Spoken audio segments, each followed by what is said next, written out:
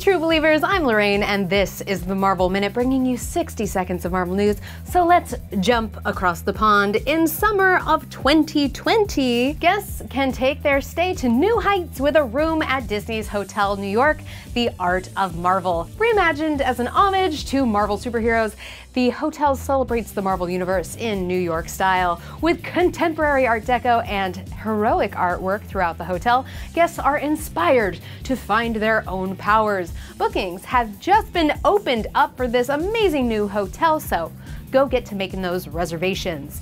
In a surprise announcement, Marvel Studios' Avengers Endgame will be on Disney Plus at launch when the new streaming service goes online tomorrow. You can rewatch all your Disney faves and then discover new ones, not to mention all that cool Marvel stuff that you can check out. Just head on over to DisneyPlus.com. And in case you missed it, Marvel's Avengers dropped a deep look into their totally original game world last week and the team behind the game opened up about tailoring loadouts to your playstyle, mission variety details, and more. Check it out on Marvel.com. And my favorite lassie, Wolfsbane, joined Marvel Puzzle Quest last week, so you can finally go for the throat. That's all the time we have for this week, but I will see you next time on the Marvel Minute.